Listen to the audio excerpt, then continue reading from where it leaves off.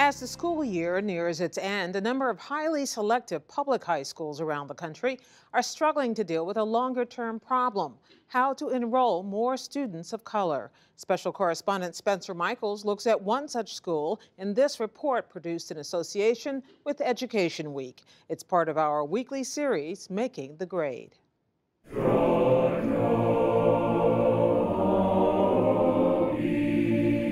Lowell High School in San Francisco excels in everything from music to math. Motivated, hard driving, and talented students have propelled this four year institution to the top tier of national public school rankings. Its graduates include scientists, politicians, entertainers, and a Supreme Court justice. Chrislyn Earl, here in a psychology class, is a senior. I wouldn't imagine myself at any other school, to be honest. You know, this school really builds you for the next step in the next chapter in your life. But there is something missing at Lowell more students like Earl from historically disadvantaged minority groups.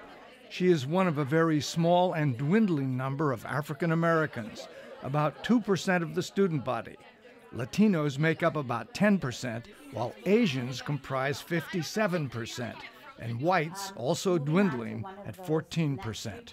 I think the people who are minorities at this school feel left out, and it is hard to find a place in this school. Like my freshman year, I wanted to transfer. And I wanted to leave immediately, and I wanted to go to Balboa instead because I know that there is it's more diverse over there. That issue came to a head this spring when a non black student put up a poster that drew the ire of many at Lowell. Titled Black History Month, it glorified black rappers in movies, lampooned President Obama, and failed to mention historically important figures.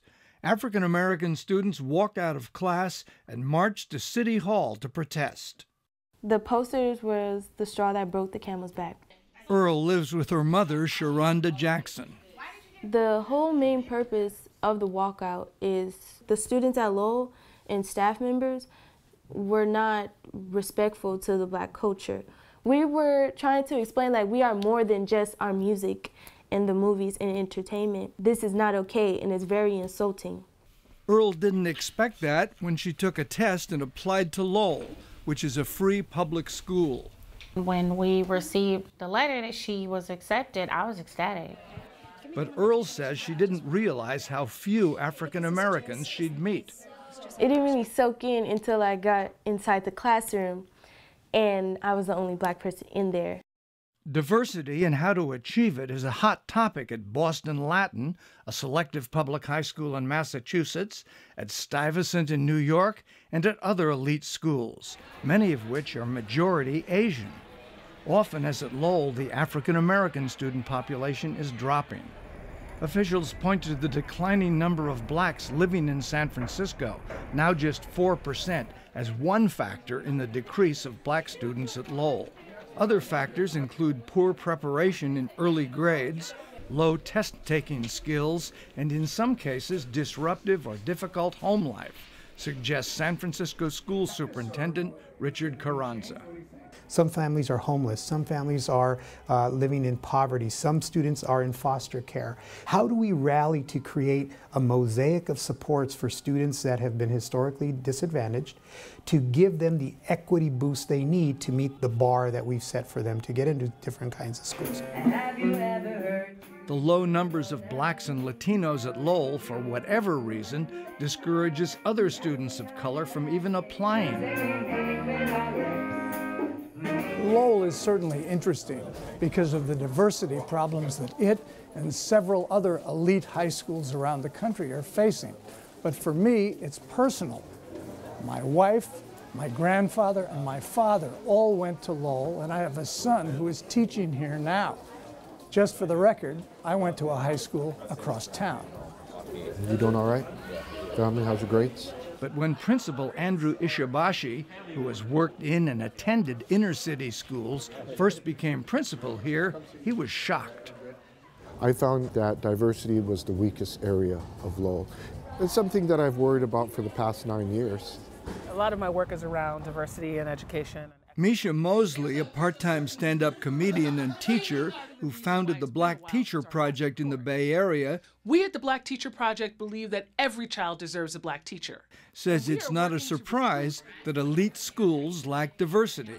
By nature, they're exclusive. So, how do you have diversity inside of a system or an organization or a school that's designed to shut people out? You know, we say we want diversity in this country. We're asking things of schools that we're unwilling to do of ourselves.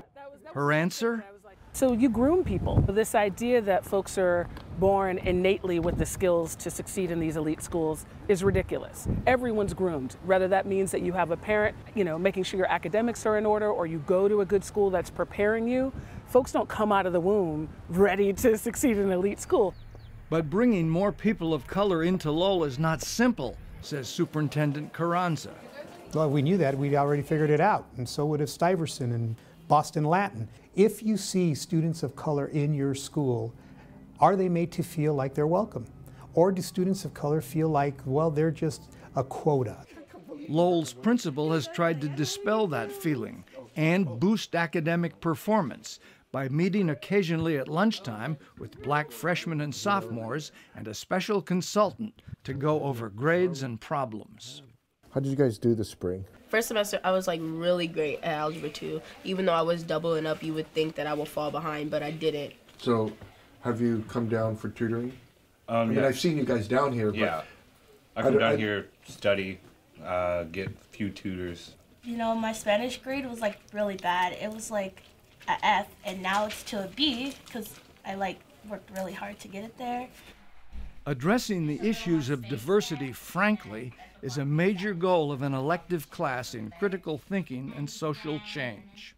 A lot of people don't want to go to a school full of a lot of Asians and then just like, you know, so it, it discourages people from going to Lowell. I just feel there's, we, we're usually too busy studying and getting, getting a good GPA instead as a result, we don't really have time to think about how what we do impact minorities and all that stuff. Malia Cohen, a member of San Francisco's Board of Supervisors and a graduate of Lowell in 1996, wants the district to allocate more money to address enrollment at her alma mater. When it comes to actually hiring a person specifically charged with the duty of targeting um, uh, and increasing en enrollment, that's what we're not seeing. Who's going to pay for that? Do I hire another English teacher or math teacher, or do I hire another specialized person to do something? Lowell's principal has made recruiting a priority, going into black and Latino communities and persuading promising students to apply to Lowell.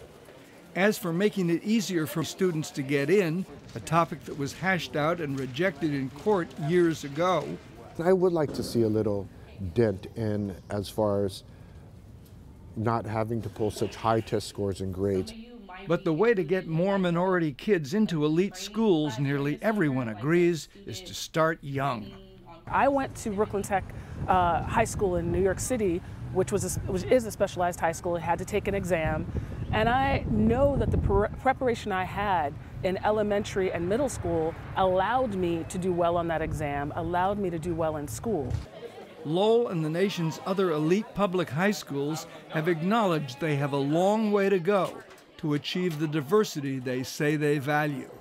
For the PBS NewsHour and Education Week, I'm Spencer Michels in San Francisco.